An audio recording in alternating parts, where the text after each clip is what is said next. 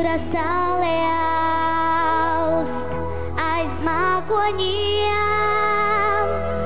Man ir laiks jaunu dienu sākt, tas, kas bijis, lai mācā